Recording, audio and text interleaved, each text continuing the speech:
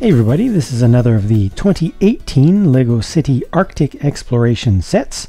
This one's called Arctic Supply Plane, so let's look at the plane first. When I first saw pictures of these Arctic sets for this year, I have to be honest, I kind of just dismissed this plane as yet another sort of generic aircraft based around or built from this preformed specialized canopy piece.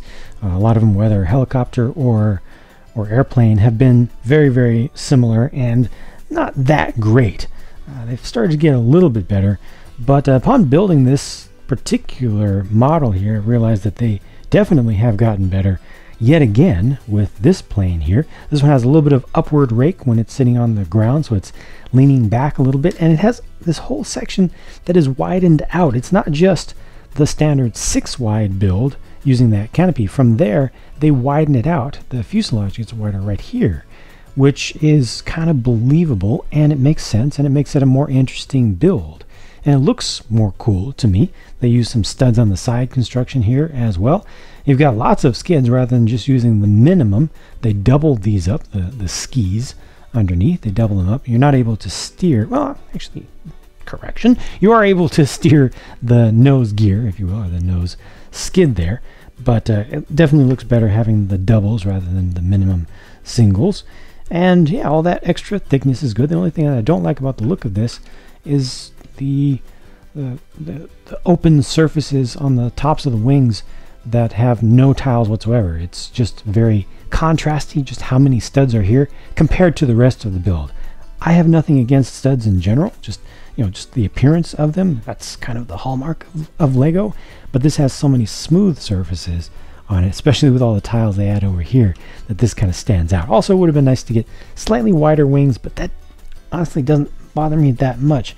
Got the T-tail back here. It's obviously supposed to be turbo fan based uh, aircraft. And check this out.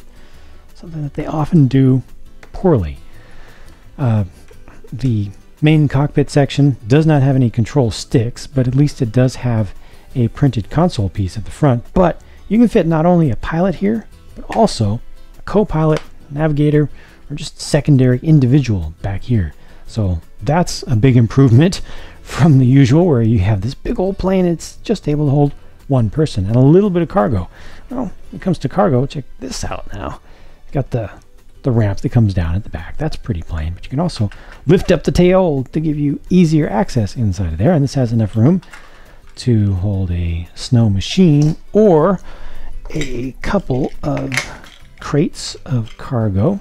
I can just slide on down in there. I think there's a little bit of room left over after that. And those don't even take up all the space inside, but that's good. And if one gets stuck in there, you can get your finger in from the other side because there's enough access.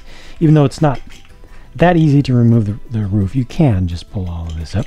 But inside of these crates, you'll find some additional little accessories. So this one has a circular saw there, a radio, walkie-talkie unit, and a pair of snowshoes in the yellowish orange or orangish yellow color. And then this one has different stuff. Has a couple of batons and also a laptop. It's a piece that's been around for quite a while. Just folds. No sticker for the screen for that one, but it's got the old keyboard kind of molded into it. So, you know, there's some cargo, but you can also take along with it the most precious cargo of this set, which is supposed to be a, a perfectly preserved, frozen uh, saber-tooth cat. Of course, a lot of kids, for the sake of play, are going to imagine this coming to life. Uh, maybe they'll be taking it to a zoo or, or taking it to an animal hospital or something, but you can put that in there as well. So all the important stuff from this set can be, I think I need to bring this down a little bit or turn it around, one of the two. All the important things from this set can be transported in this plane. There we go, that works. Me bring this back down. So it actually works pretty well and you can put two figures in there. Uh, if you don't put cargo in the back, you could put other figures back there as well. But yeah, it's it's not too fancy of a plane. It's not too special, but it's definitely better than the usual, at least in my opinion. A lot of people have been waiting for this saber-toothed cat to come out, so I won't make you wait any longer. Let's take a closer look at it in this video. It looks pretty good. Uh, the eyes look like they were drawn by someone who does graphics for the Lego Friends line. Uh, to me, just you know, it's not quite as much uh, minifig like as many of the other minifig set based animals have been, just in the expression in the eyes. But that's not a bad thing. Uh, it does use dual molding for the teeth, so those are a nice bright white, and that white does not scratch off, and you don't have to worry about that being inconsistent from you know from one unit to the next. They will all be nice and bright white like that, so that's just really good. It'll last a long time. And then they just have prints along the side. So the colors here are medium nougat, white, and then the print of dark brown. And this has all the normal articulation of the cats, so it can be raised up, reared up like so, and you can actually get it to stay like that. Yeah. So yeah, this this works out pretty well. It's a lot better in my opinion than the woolly mammoth that they did for this series in that you know you can actually pose it. And it looks like it's alive which is kind of cool. Uh, if you want to bring it to life in your own you know little stories. Has a couple studs on the top as usual. Those are uh, open studs so you can fit bar shaped things in there or you can just attach things on the top including people if you want to have somebody riding it for your own stories. There you go. That works just fine. It's cool. I like it the premise of the set then has the Arctic explorers finding this perfectly preserved specimen locked in the ice, and then they need to come along and get it out to take it back for study uh, and to you know prepare it to be preserved even longer while we continue to admire it in its full form. And this whole snow and ice formation looks pretty nice. It's too bad there is no cover over the top. You know, it's already been partly melted away. Maybe that's how they discovered it in, in the first place. Or maybe it's been chipped away a little bit. But uh, you can kind of put your own story behind that. But overall, it looks pretty cool. And it's interesting that they used a couple of windscreen pieces in here. Uh, one of those pieces, an additional one, a third one, is used on the machine that will be used to get the, the cat out the rest of the way because this has some sections that are intended to be slightly removed and I'll just show you that very quickly and we'll focus on this thing. Basically what happens is it's supposed to come along and just start tearing stuff up and you just, I guess you have to be careful not to, to damage the specimen because uh, it's, it's easy to do. It's easy to cause damage to it, but yeah, get this going. Let me get that last piece off there. Come on, get out there. Yeah, yeah, trying to get it, get it. Yeah, yeah. There we go. That one didn't want to come off quite as easily. It's attached with uh, two studs. The others are attached with just one each. But that's the general idea here. That without doing any damage to the cat itself, you're supposed to knock some of those off. Does not work as well as in the, the bigger set, especially with this last piece. And also the fact that it is open on the top makes it kind of dangerous, you know, if you're trying to have semi-accurate play or just, you know, taking it a little bit seriously, uh, you may have to worry about actually hitting the thing. You might want to just get in there with some some chisels and hammers, which unfortunately they don't include in the set, you know, little stuff to be careful with. Nevertheless, this thing is uh, pretty unique amongst LEGO vehicles. I don't think I've seen them do anything quite like this before. I'm surprised that they actually did four independent track segments, and these can actually be articulated a little bit over terrain. Uh, the, the treads themselves are a little bit loose, which makes it easy to get this to actually roll. There are no cheater wheels in the center or anything, or on the bottom of this. It's, it's all very genuine in how it works. They do have rubber tires on the insides here, but uh, that just it just helps everything to work and doesn't really hurt anything in terms of how it looks or how it plays. I could have gone for some additional bushings, just half bushings to cover these dark tan axles that stick out a little bit. But this thing looks really cool. I like the angles of the, the arm here and how it can be articulated in multiple different places. You can't go up and down in right from here. You know, your, your first point of articulation is up above the cab, but I think that's fine.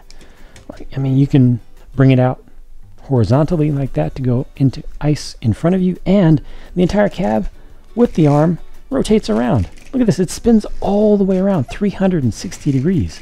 That's good design. I like that. I want to customize this and I want to encourage kids to customize this with different attachments. These pieces are pretty common or you can pull that out. Things that attach to that are pretty common or you can use just one at a time.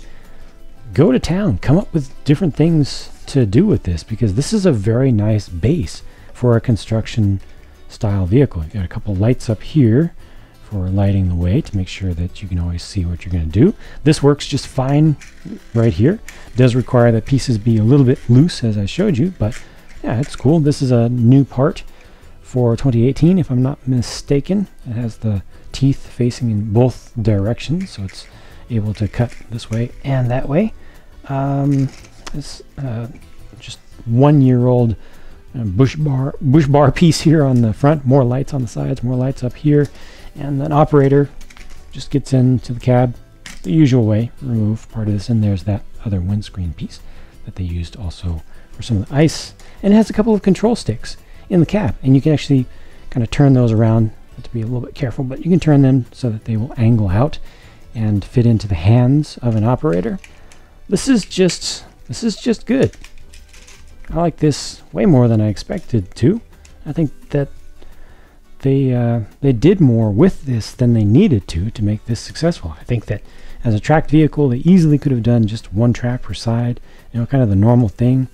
Uh, they could have had just a, a, a, single turret section for, for all of it up on top.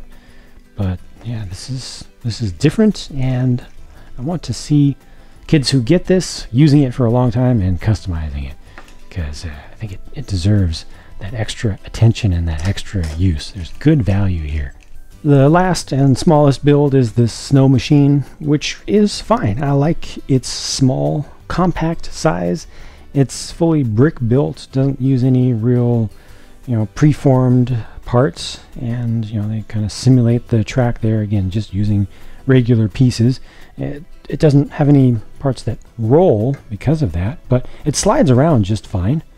Uh, doesn't get caught up on things too much on like low pile carpeting and such, so you can have fun with it. it doesn't steer, but uh, again, just being nice and small, kind of appropriate in size and scale to the minifigures, I think that works out pretty well. And they have a second seat back there.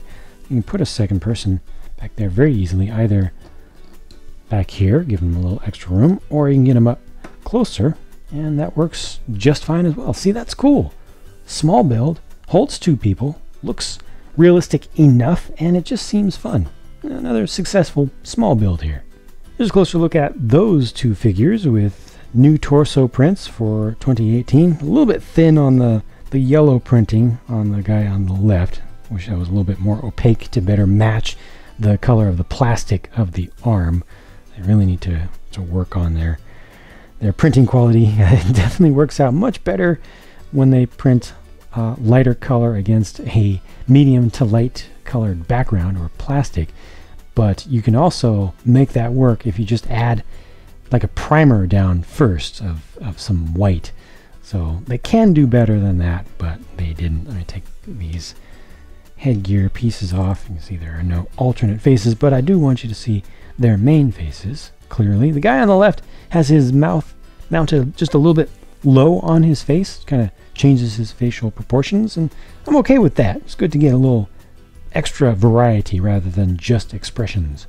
And here are the other two figures, four minifigures in this set in total. On the left is the pilot for the plane, and on the right is just another random researcher. And you, know, you can give the different people whatever roles you prefer, but pretty good torso prints here on both. I really love the dark azure color. That's what color that is, the, the lighter of the blues. Works nicely with the, the white and contrasts pretty well against the dark blue as well. I think just in general a nice color scheme here, something a little bit different, and it works out pretty well in the builds as well, where they, where they have just a little bit of that medium, excuse me, that dark azure color. So overall, this feels like a pretty successful set to me. The only thing that I really don't like here is how precarious the ice block is and how open it is on top. Just thinking of kind of the fantasy play of actually coming in here with the saw and worrying about damaging the specimen, but that's pretty easy to correct by adding just a few pieces on top there to give it a little, little bit of distance. But certainly this thing here is unique and really cool and just begs to be expanded upon and customized. The plane that I thought was going to be very plain, P-L-A-I-N, is definitely better than I expected. Maybe not the most unique looking thing and the, the air intakes, I didn't talk about that before, but the air intakes are a little bit of a disappointment in how they look to me, especially from the front. But I mean, that's, that's a tiny detail. Play value is good, holds a good amount of, of cargo for its size. It's easy to get access to each of the compartments, at least holds two people in the front. You know, it's pretty well done. It's done, I think, better than, than most of them are. This is fine. That's fine. The cat is good. This build, other than just the lowness of that top part, looks nice even just on display. The figures are cool. Feel like the value, uh, looking at the price to part ratio and the price to volume of stuff ratios, is good here actually. Um, even even in the U.S. where it looks like it's about about the worst on on paper, I believe, compared to what we're used to. Uh, still, it's not bad. I feel like you get a better value here with this set than you do with the larger set. Uh, by far, the mobile exploration base. So good stuff. my only complaints are very minor and very correctable. That's it for my thoughts then. Thanks for watching, and I will talk to you again soon.